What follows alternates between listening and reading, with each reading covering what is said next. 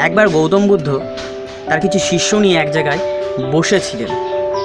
তো একটা শিষ্য সেখানে এসে জোরে জোরে চিৎকার করে বলতে লাগলেন যে, কেন আজকের সভায়? তাকে বসতে দেওয়া হয়নি। কিন্তু গৌতম বুদ্ধ কোনো কথা বললেন না।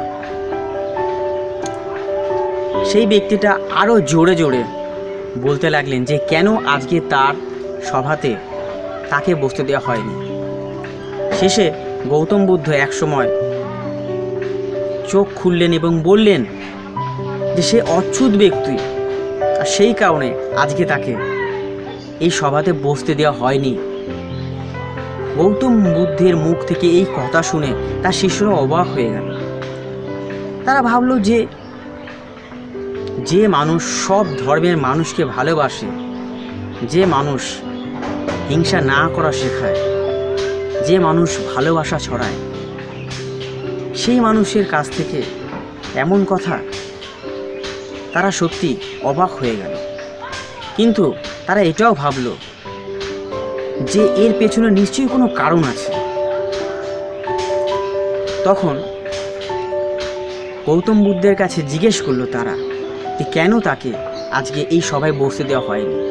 গৌতম বুদ্ধ তখন বললেন যে এই লোকটাকে বসতে দেওয়া হয়নি এর কারণ সে অচ্ছুত ব্যক্তি। আর অচ্ছুত এই কারণে, কারণ সে এখন ক্রোধিত। আর যে ক্রোধিত, তার মধ্যে রাগ আছে। আর রাগ আমাদের একাগ্রতাকে নষ্ট করে ফেলে।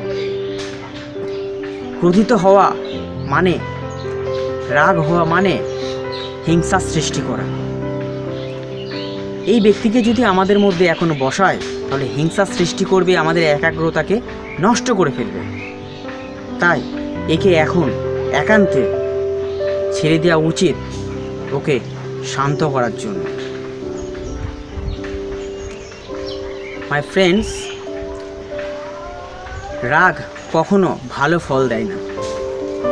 ক্রোধিত হওয়ার অর্থ যে একটা জ্বলন্ত কয়লাকে আমাদের হৃদয়ের মধ্যে রেখে দেওয়া এর ফলে অন্য মানুষ ক্ষতিগ্রস্ত হয় না, আমরা নিজেরাই ক্ষতিগ্রস্ত হই।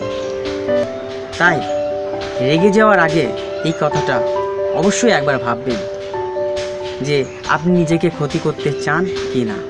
যদি না চান, তাহলে রাখবেন। ভালো থাকুন, সুস্থ থাকুন। আমার সঙ্গে থাকার জন্য অসংখ্য ধন্যবাদ।